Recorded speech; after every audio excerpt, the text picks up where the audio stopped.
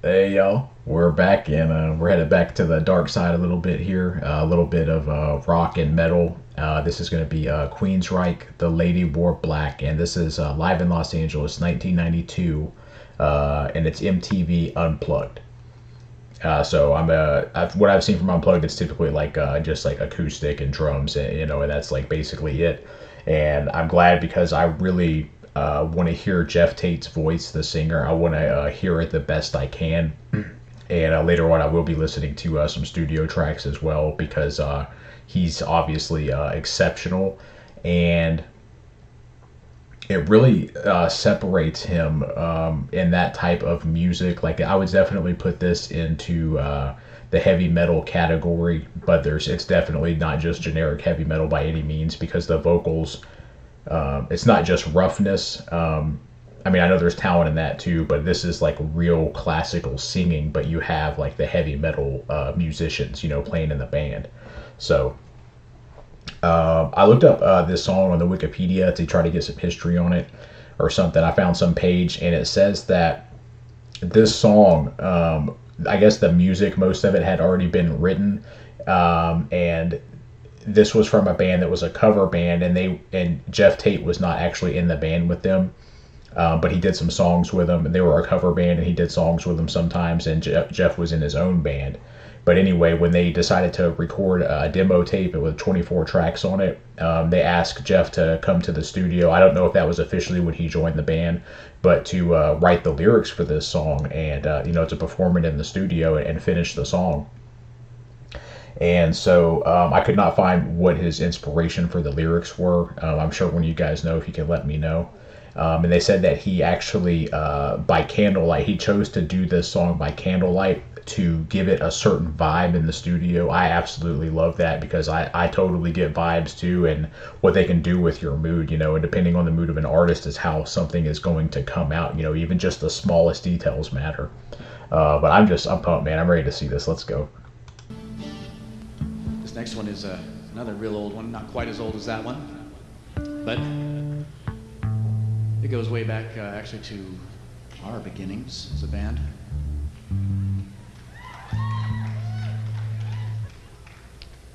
It's actually the first song we wrote together as a band. So you might remember this one.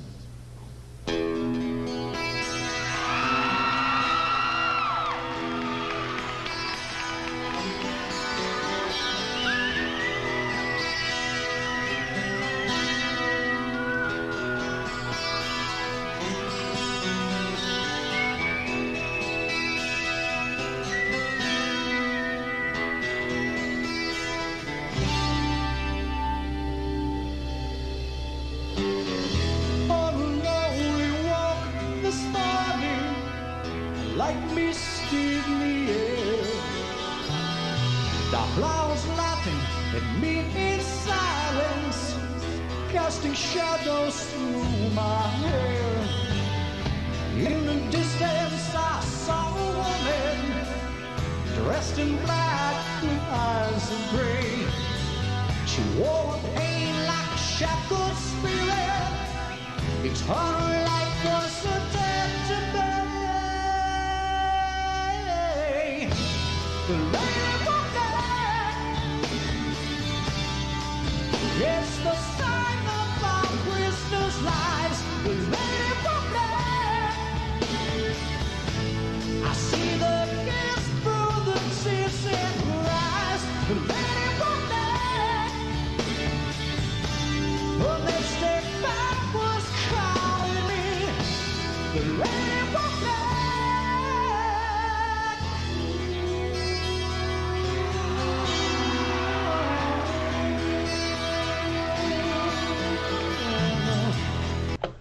yeah, this is so good. Uh, the lady wore black. That like that hook, I guess, if you want to call it that. The chorus, I don't know. Uh, it, it sounds so good. Like it pulled me in, and it's one of those ones where I guarantee if I heard this on the radio, I would instantly like it for the first time because it, it, gives me that feeling. You know, uh, his vocals are are are incredible. I, I love it uh, that it still has like that kind of heavy metal darkness to it, like really hard rock. Uh, but it has uh, very fine-tuned classical vocals that uh, mesh together. It's good, man. Let's go.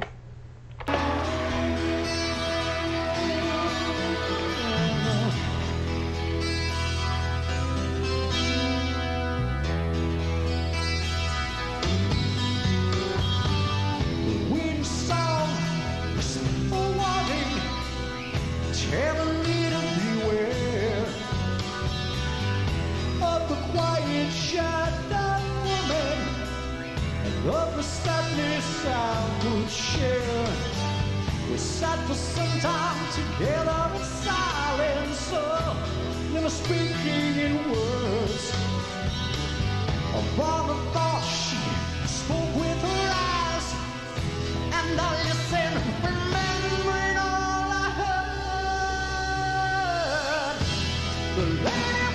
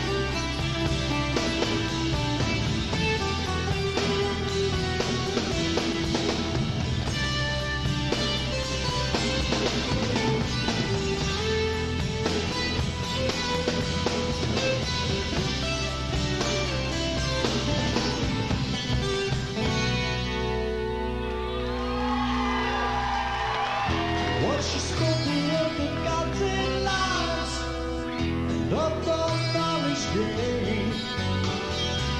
Memories I had, but I didn't know why.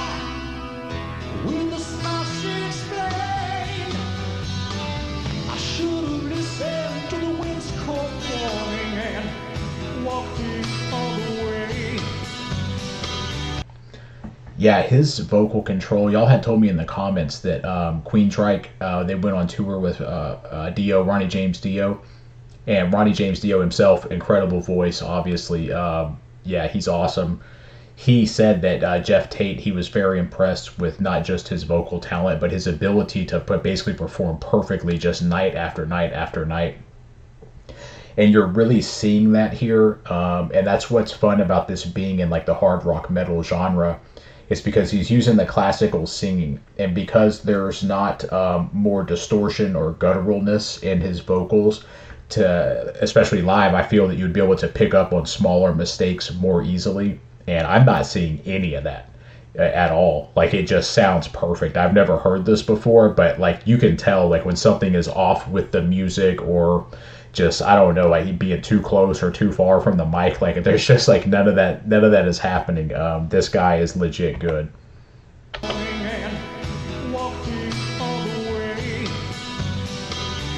She touched my soul and now I bear her sentence. But for her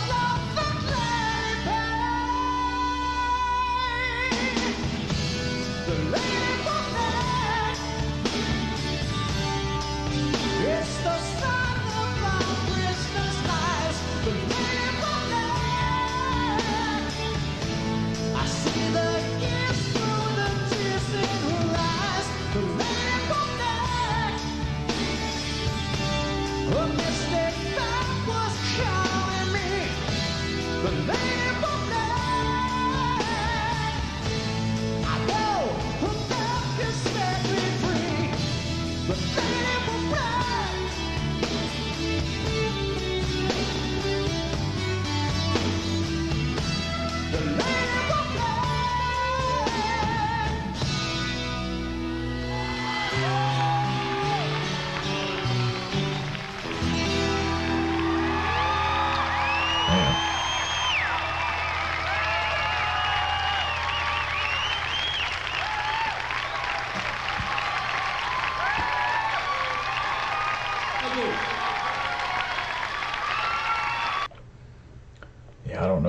let's go a little bit further. Let's see if uh, anything else happens related to this song.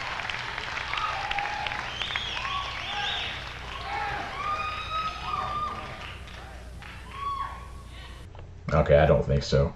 Um, if it did, I apologize. Um, I just, you know, if not, I don't want to like extend the video and keep going, and it's like nothing's really happening. Uh, that was very impressive. Um, I, I genuinely like that song, and um, his voice, man. Um, the only thing that I can kind of think of that I know something about that I can compare on any level, and I'm not comparing their talent level or anything like that, is uh, the singer of that band Manowar.